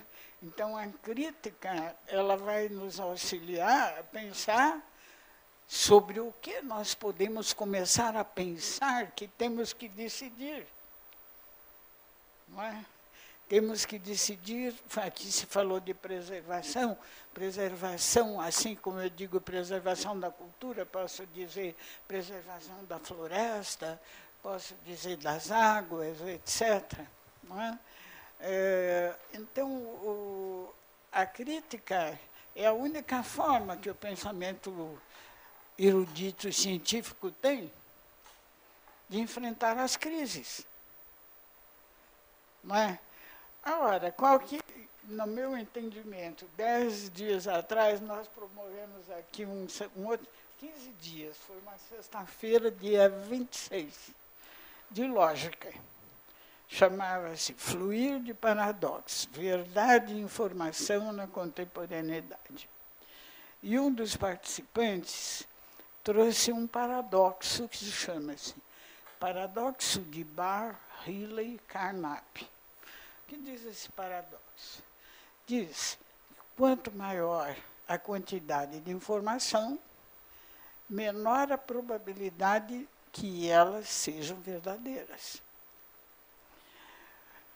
Ora, nós, quando estamos numa crise como essa, que não temos nenhuma informação sobre o futuro, de repente houve um apagão assim, não é? Porque geralmente você pensa com base no que você já viveu. Você não pode inventar fora do vivido. Você pode alterar, não é? Bom, então, é, na crise, a quantidade de informação que você tem é infinita. Por quê? Porque não tem definição nenhuma. Pode ser qualquer coisa. Não é? Não é nem um número grande, é infinita mesmo. Agora, aí você tem outro problema. Vamos tirar o infinito e dizer que é enorme. É? Como é que você vai definir a verdade disso aí? Se você tem uma quantidade enorme de, de, gente, de decisores, não é? nas culturas, nas, nas individualidades, aqui ou ali, cada um vai definir verdades de uma determinada forma. E a lógica vai dizer que, dentro da lógica discursiva, que é essa da discussão, você, acima da, do, da dupla eh, possibilidade, você não tem decidibilidade, você não pode decidir. É uma impossibilidade lógica. Então, o que nós estamos vendo não é uma invenção da, da nossa imaginação. É uma decorrência dos limites lógicos que são essenciais na crítica, porque nós não temos outra forma. Não é? Nós, para enfrentar a crise, nós só temos a crítica. A crítica tem que se exercer em cima de algum conhecimento. Não é? E a crise é de tal amplitude, eu não sei se chega a ser um número absurdo, porque muitas, muitos paradigmas se reproduzem. Não é? Assim mesmo, é uma quantidade enorme de informação, porque nada está definido. Está tá um, uma coisa, nem uma miragem. Ué. E aí, é, eu diria assim, tem um, um pensamento do Filóstrato, Filóstrato eu, eu, não, eu não tirei do original, eu tirei de uma poesia do Cavafes. E, e diz assim, porque os deuses conhecem o futuro, os homens o presente e os sábios as coisas iminentes. Eu diria, bom, Filósofo vivia no século II depois de Cristo, talvez hoje ele não formulasse isso, porque eu acho que nem os sábios estão conseguindo saber coisas iminentes. A menos se diga que iminente é o imediato. Não é? Ou não existe mais sábio, ou a quantidade de informação é tal que o sábio é inútil. Esse é um outro paradoxo. Mas, brincadeiras à parte, eu acho assim, é, nós temos que continuar a pensar. Porque nós não vamos conseguir sobreviver sem pensar. Então, é o desafio. Né? É o desafio. A Venezuela poderá começar uma guerra mundial nessa fronteira Yanomami. Dizem, há vozes que dizem que isso é possível. A Venezuela ou os Estados Unidos? Não, eu acho que a situação eh, da relação da América do Sul, da América Latina, com a América do Norte. E o contexto geopolítico eh, contemporâneo.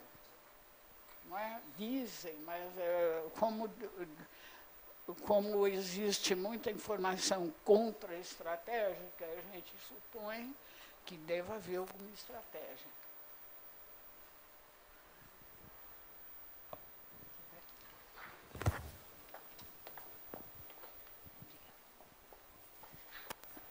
É, bom, primeiro um prazer ter ouvido tudo isso hoje, né? ter visto também o filme do professor Marcelo, que já é o terceiro do mês que eu vejo, por conta de indicações da, da professora Sandra. Né?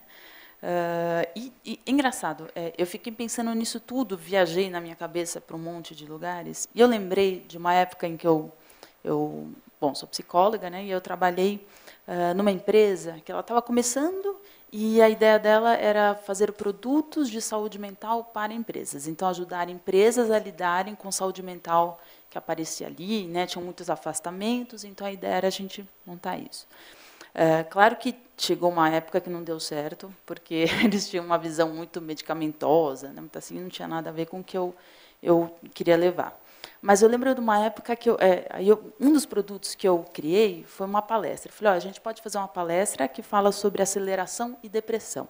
Então, quanto que a aceleração do mundo está uh, aumentando a, a, depressão, né? E como lidar com isso?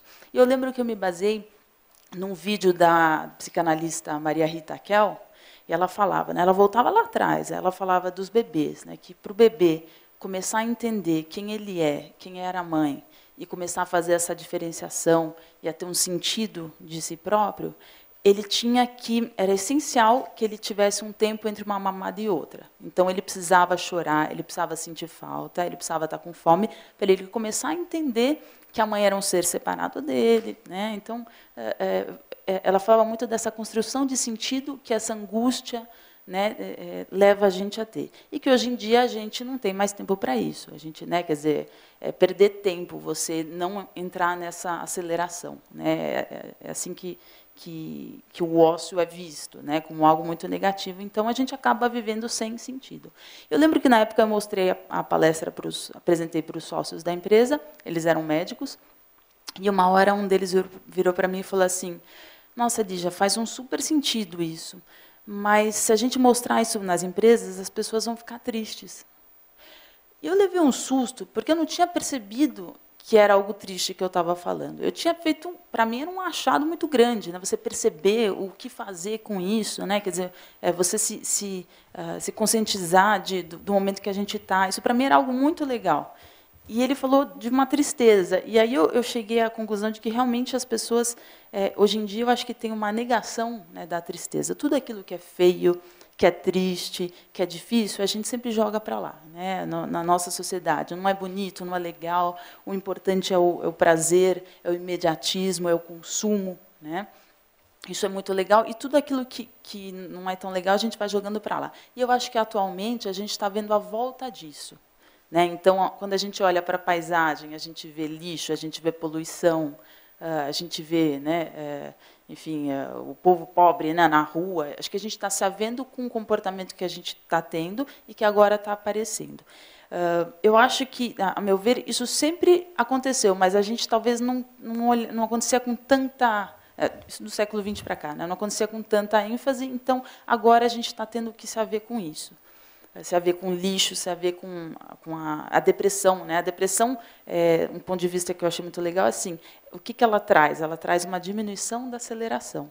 Então, a gente está muito acelerado, a depressão vem como uma necessidade da psique de falar, você vai parar. E você vai olhar para as coisas difíceis da vida. Né? Então, é um jeito forçado da gente desacelerar, né? assim como olhar para o lixo, enfim, como tudo isso que vem, uh, que cai em cima da gente.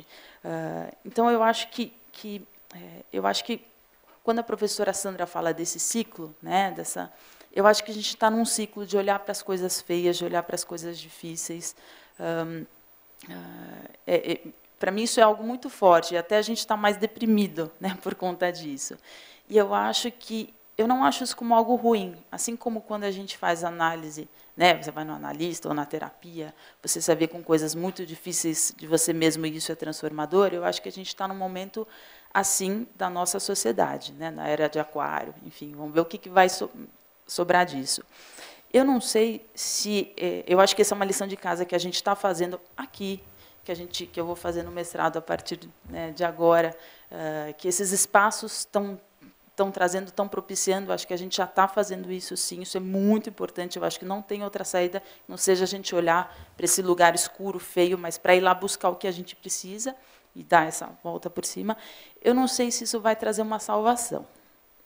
Mas eu lembro de uma, uma mulher que ela falava assim: é, se não tiver salvação, que pelo menos a gente termine de uma maneira mais elegante.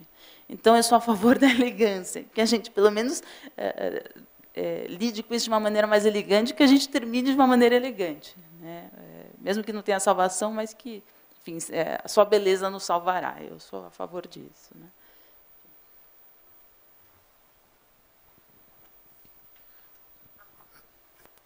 Oi. É, eu queria fazer uma, duas breves falas. É, a primeira com relação a, ao que foi proferido pelo professor Dirk, é, no sentido amplo das ontologias, né, e a questão paisagem política, né, em um sentido mais amplo, naturalmente. Eu tive a ocasião, a oportunidade de pesquisar a questão de política e paisagem no Brasil, né, tem a ver com minhas pesquisas acadêmicas. E uma baita angústia mas uma angústia muito grande que pairou na minha pesquisa foi justamente é, a maneira como, não apenas como verbete paisagem, porque ainda acho que temos alguns passos a dar no Brasil para compreender a terminologia de paisagem, o sentido propriamente dito, é, porque ainda é tido como um espaço natural, como todos aqueles elementos inclusive me baseando até, me lembrando da obra da professora Adriana Serrão, né, que faz aquela antologia e mostra as variedades e pensamentos sobre paisagem. Mas eu queria citar apenas, é, para dar um, um, um ar do, do, do, ponto de vista de política pública, né, trazendo para a praxis, e como quando sua, você estava fazendo sua fala, me ocorreu. Né? Em São Paulo, não sei se todos sabem, teve uma legislação é, bem é, assídua com relação à publicidade or livre, chamada Lei Cidade Limpa. Né? E essa, enquanto é uma legislação específica para tratar da publicidade, é, o termo dela, é, até, até resgatei aqui, ela dispõe sobre a ordenação dos elementos que compõem a paisagem urbana no município de São Paulo. Ou seja, é, a paisagem tem que ser ordenada. Né? E a gente discute aqui o, o, a paisagem no âmbito de uma relação, no âmbito de uma, um, uma perspectiva sensível e por aí vai. Quando a gente pega essa legislação, a título de curiosidade, é, constitui objetivos da ordenação da paisagem do, do, município de São Paulo, atendimento do interesse público, em consonância com os direitos fundamentais da pessoa, conforto ambiental e melhoria da qualidade de vida, assegurando o seguinte: bem-estar estético, né? cultural e ambiental da população. É, horas bolas, o que, que eu posso chamar de bem-estar estético? Então, quer dizer, eu tenho um, um poder público que, em um dado momento, é, determina que, dentro de uma racionalidade, né, um, um, que existe algum tipo de padrão, né, e, portanto, aquilo que seria sensível, e, no meu ponto de vista, é, merecedor de uma ampla discussão, que seria a reflexão sobre o que é paisagem, não, simplesmente não existe. Então, eu acho muito rica a colocação que foi colocada com relação às ontologias e a perspectiva política, pensando a ethos, pensando essa relação, porque realmente é, poderia dizer que uh, esse é, um, é, um, é, um, é uma das trincheiras, esse espaço aqui é uma das trincheiras para essa discussão que eu vejo como muito rica. Né? E, e eu queria é, rapidamente, é, eu sei que estou ocupando muito tempo, mas a professora Sandra, ela estava na fala dela, é, me ocorreu, professora, um, um, breve poeminha que eu, que eu escutei, que eu tinha dado um momento das minhas angústias semelhantes à da senhora, e eu queria rapidamente citá-lo. Ele chama da Maria, Marina Colasanti, é, Eu Sei, Mas Não Devia. A gente se acostuma a acordar de manhã sobressaltado porque está na hora, a tomar café correndo porque está atrasado. A gente se acostuma a ler o jornal no ônibus porque não pode perder tempo na viagem, a comer sanduíches porque não tem tempo para almoçar. A gente se acostuma a andar nas ruas e ver cartazes, abrir revistas, ver anúncios, a ligar a televisão, assistir comerciais. A gente se acostuma a lutar para ganhar dinheiro, a ganhar menos do que precisa e a pagar mais do que as coisas valem. A gente se acostuma a morar em apartamentos de fundos e não ter outra vista que não seja as janelas ao redor. A gente se acostuma a não abrir de todo as cortinas à medida que se acostuma, esquece o sol, o ar, a amplidão. A gente se acostuma às bactérias da água potável, à morte lenta dos rios, à contaminação das águas do mar. A gente se acostuma à violência e aceitando a violência, que haja número para os mortos e aceitando os números, aceita não haver a paz. A gente se acostuma para poupar a vida, que aos poucos se gasta, e que, de tanto se acostumar, se perde por si mesma. A gente se acostuma, eu sei, mas não devia. É, eu, eu, diria que as reflexões colocadas aqui, é, pelo menos para mim, me colocam no sentido de pegar toda essa energia dessa angústia, mas para dentro da minha praxis, dentro das coisas que estou envolvidos, levar a reflexão desse mundo sensível, que uh, por mais que é, tenha hoje um, uma perspectiva, como bem colocado aqui, uma perspectiva não das melhores, talvez, mas talvez, se a gente tiver uma reflexão mais ampla no, no âmbito de que existe um, um, uma coisa cíclica, eu creio que me sinto com um pouco mais aconchegado e para que possa dar continuidade a essas coisas todas. O riso, seguinte, é, eu pedi para falar logo na sequência é, de você, primeiro porque assim é, é preciso não, não, como é que eu diria, não, não menosprezar o que está implicado no emprego que o professor diz que faz da estética. É, não é assim o embelezamento da paisagem, mas é o que é que eu posso perceber dela, como é que ela me impacta. Né? Isso é uma coisa. Uh, a outra coisa que eu queria falar muito rapidamente em relação a, ao, ao, poema da, da Colazante é assim, não. É, a, eu, eu perco o direito de falar, já que eu não apresentei a minha visão do ethos, mas mesmo assim eu vou antecipar. A gente não se acostuma com uma ruptura ética, não se acostuma. Tá? A ruptura ética, a ética é uma relação entre o lugar em que eu vivo, a, a, essa é a minha posição, o meu, a minha subjetividade, ou seja, os meus pensamentos, sentimentos, etc., aquilo, o meu mundo interior, poderíamos chamar assim, e o meu comportamento. Sendo uma relação, ela é, como é que eu chamaria, para ser breve, uma relação natural inexorável. Se eu estiver num lugar que fere o meu interior mortalmente, que é letal, eu morro, eu não me acostumo. Tá? O problema é, existe uma margem, e nesse, né, dentro dessa margem de adaptação, a gente vai vivendo. A pergunta tem que ser, e essa tem que ser sempre a pergunta, é uma vida que tem sentido? É a vida? É o lugar em que eu quero estar? é o, o comportamento que eu quero ter. Eu quero me sentir assim, deprimida. Se eu só consigo parar se estiver deprimida, eu quero me sentir assim. Né? Isso é bom, isso faz bem ou isso degenera a, a, minha vida, isso diminui a minha potência de vida ou diminui a potência de vida eh, de quem está à minha volta. Tá? A partir de um certo ponto de diminuição de potência de vida minha ou de quem está à minha volta, entramos numa letalidade. Aí já não é mais vida. E ninguém se acostuma com isso, morre. Não se perde a relação ética. A relação ética está é, gerando vida, sustentando vida ou degenerando vida. Tá? E aí é, é isso que, que se dá. Né? Queria ainda porque isso foi retomado pela Lígia, né? É, só propor à professora Eda falar um segundo mais, é, eu tenho umas questões em relação à crise e à crítica. A crítica depende de nós exercermos a crítica e a decisão. A crise eventualmente, eu, eu associo com a ideia, por exemplo, um paciente em crise, um paciente em estado crítico. Não é uma questão de decisão, é uma questão de um devir. Ele pode sarar ou morrer. Né? Não é uma decisão. É uma decisão lá do organismo dele, sarar ou morrer.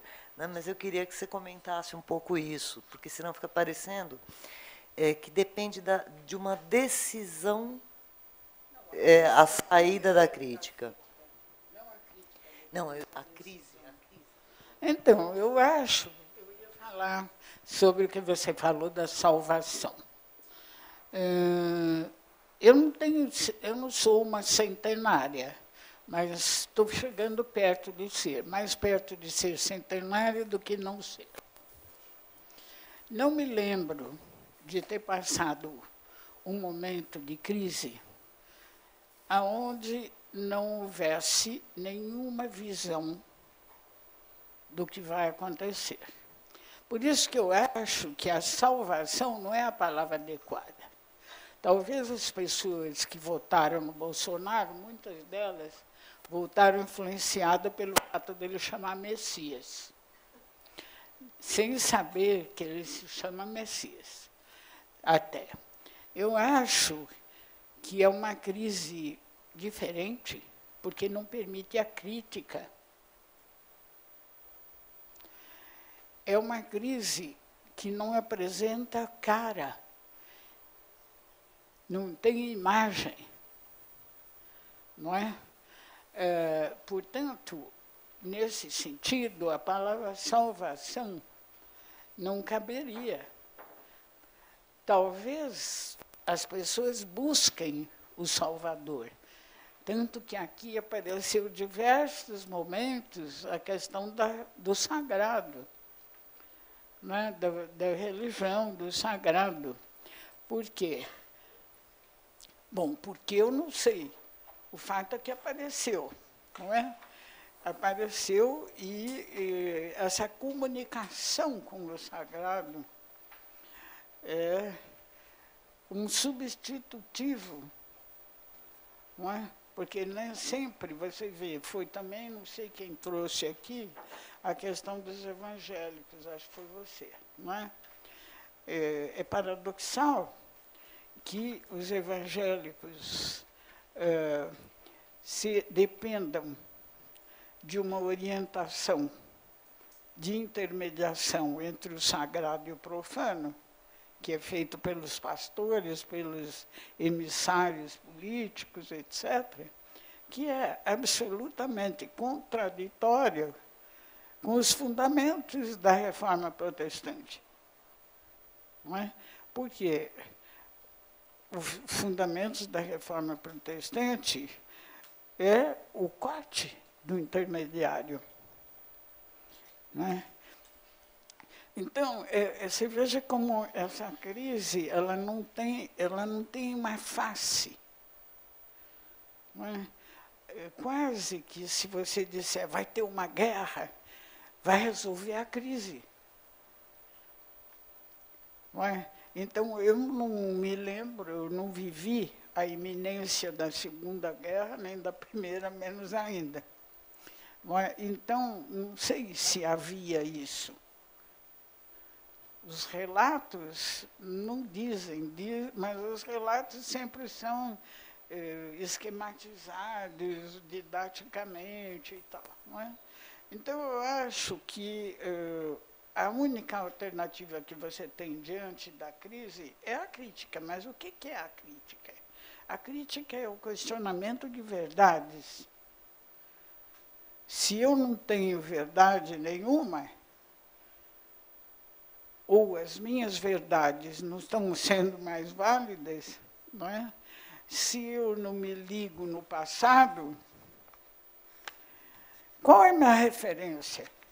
Bom, então você tem o seguinte, você tem uma ausência de, de croquis, é? e você tem um corte com o passado. Então, você, de repente, você está numa, numa situação de liminaridade sem ritual. Porque a liminaridade é suportável quando você está num processo ritual. Ah, eu vou fazer a casa assim para chegar não sei aonde. Eu vou fazer o vestibular para fazer o diploma, eu não sei o que lá. Ah, isso, no, no, digamos, vulgar, né? Quando você entra no sagrado é muito mais complicado. Nós vimos no filme aí aquelas questões de xamanismo que são tratadas artisticamente, mas você sente a força daquilo, não é? A força daquilo não é, é milenar. Se é que não é muito mais, não é? Então, é, Sandra, eu acho assim, a crítica, é, nós não temos outro instrumento para enfrentar na nossa forma cultural.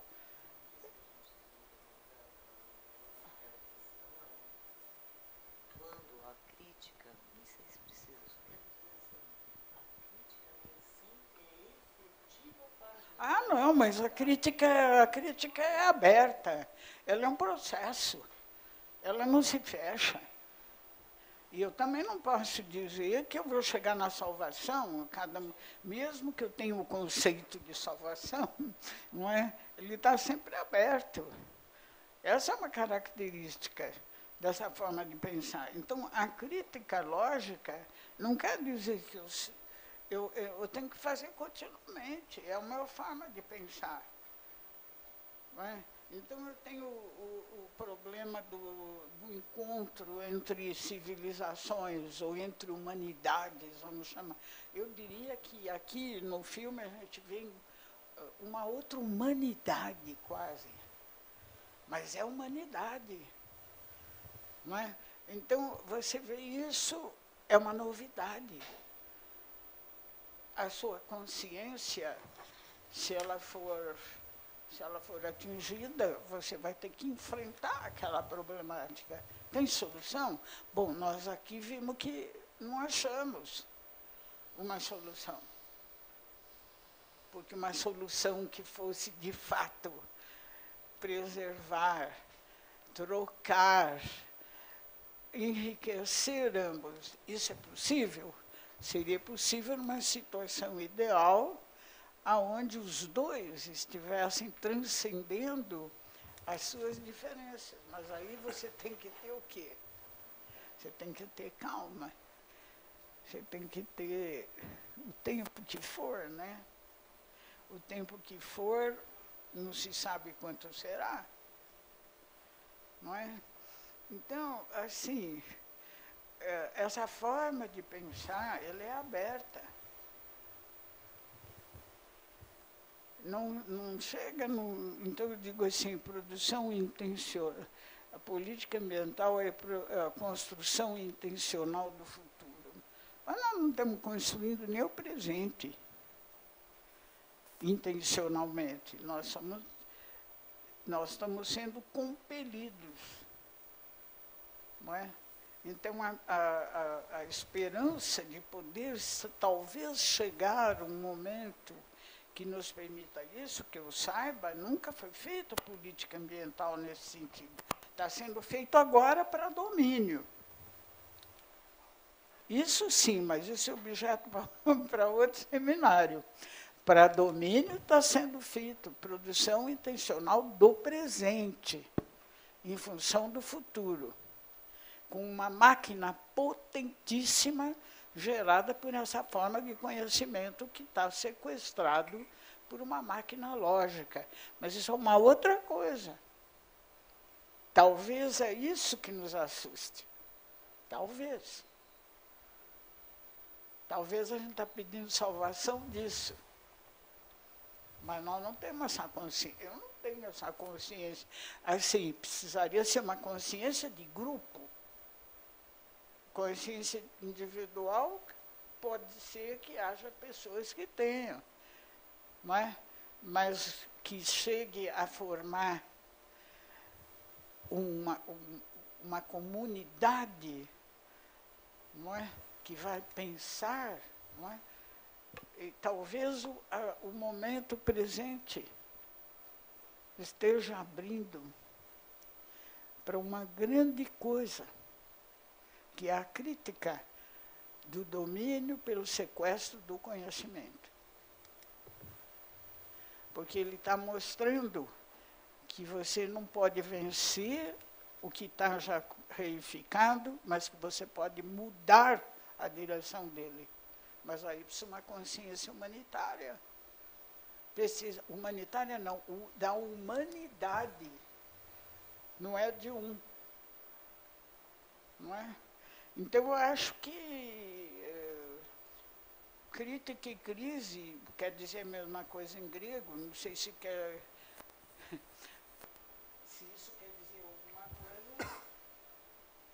essa crise. Eu acho que essa crise não tem face. E por isso que ela não pode ser criticada. É, acho que o, o, nosso tempo já passou, né? Nós vamos uh, cessar. Eu só queria uh, falar, uh, dar uma, uma, palavra final. Você também, assim, eu vou Deixa uma última palavra para Paulo Borges. Um, só queria falar que eu acho que, sim, acho que há uma uma uma face dessa crise, eu acho que tem, obviamente, e que essa crise é mesmo uma uma ao mesmo tempo uma um fechamento e uma abertura. E acho que nós podemos, podemos uh, reconhecer muitas, muitas, uh, muitos pontos de falha na nossa civilização que, que poderiam ser uh, até por enquanto consertadas, mas também acho que a nossa civilização, mesmo em, em, em, decadência, em desmoronamento, em, talvez no seu fim, pode embocar em uma outra coisa se nós reconhecemos as possibilidades do humano e, do, da, e, e do não humano na sua essência. Eu acho que há, há muita possibilidade ainda não descoberta da nossa da, da nossa existência e da existência dos, de outros seres que que podem dar em muita coisa, mas uh, não quer dizer que, que não há nada aí que vem depois. Ou, né? é, acho que estou um pouco mais positivo nesse sentido do que ah, foi aqui falado até agora. Tá, ah, eu só queria retomar a palavra para, para dizer uma vez mais que acompanho e partilho muito o que foi, do, do que tem sido dito sobre a questão da salvação. Se a salvação for entendida como alguma coisa que vem de fora que é conferida ou concedida por uma instância transcendente ou por um Messias ou qualquer coisa assim. Mas gosto sempre de voltar à etimologia das palavras e estava aqui a recordar-me todas as palavras que nós traduzimos como salvação, a partir do grego soter, o, o sânscrito sarwa, etc., remetem para uma ideia muito precisa, que é a ideia de totalidade, integridade, completude. E eu creio que esta completude, integridade, totalidade é a aspiração maior da nossa consciência e da nossa vida. Nós queiramos ou não, consciente ou inconscientemente, aspiramos a uma plenitude, a uma integridade. Nós não gostamos de nos sentirmos separados, fragmentados, cindidos. Eh, nesse sentido, creio que aquilo que se designa como consciência é um, tem um movimento ou tem um dinamismo holotrópico. Isto é uma expressão do Stanislav Grof, que estudou os estados diferenciados de consciência. Penso que a consciência tem um dinamismo holotrópico, ela visa a totalidade. Assim, a nossa consciência é como o girassol que se volta sempre para o Sol. Ela visa a totalidade, visa a integridade. E por isso nós aspiramos a superar uh, o antagonismo entre os opostos, nós aspiramos a sínteses sempre mais abrangentes, mais integrativas, e penso que uh, a crise que nós sentimos tem a ver com a dificuldade de nós, neste momento, sermos capazes de nos mover na, na direção de uma síntese mais abrangente e, nesse sentido, mais salvadora. Portanto, aqui a salvação pode ser retomada num sentido positivo se nós entendermos a salvação como um estado de amplitude, de abertura e de amplitude da consciência. Isso é sempre possível, mesmo nas situações mais difíceis. E, porventura, são as situações mais difíceis que são mais favoráveis no sentido de serem mais instigadoras a que nós possamos encontrar essa superação dos conflitos numa visão mais abrangente, numa meta-visão. Que talvez também passe por vivermos a experiência da crise, no que ela tem de mais. Uh, polémico, beligerante, mas também superar a crise, porque crise do grego crinem também quer dizer julgar. Enquanto a nossa consciência estiver presa no juízo, a nossa consciência estará em crise. Mas se a consciência for capaz de superar a tendência judicativa de diferenciar entre os opostos, entre os bons e os maus, talvez a nossa consciência possa aceder a uma experiência de saúde. Eu não diria de salvação, mas de saúde. Essa saúde, penso-nos, é acessível. É-nos acessível de uma forma imanente. O caminho que eu tenho procurado seguir é o caminho da, da experiência contemplativa, da experiência meditativa. Penso que é o caminho de uma abertura transdiscursiva da consciência. A maior parte dos nossos debates movem-se num plano ainda muito discursivo. Eu penso que hoje um dos grandes desafios da humanidade é dar um salto em termos de patamar do regime de consciência. Passar da cogitácio, de que falámos hoje de manhã, do Descartes, para a meditácio e para a contemplácio. São outros regimes de experiência da realidade. Há outras experiências cognitivas que estão para além do pensamento discursivo. E, nesse sentido, também para além da experiência da, da crise e da crítica. Era só este pequeno contributo.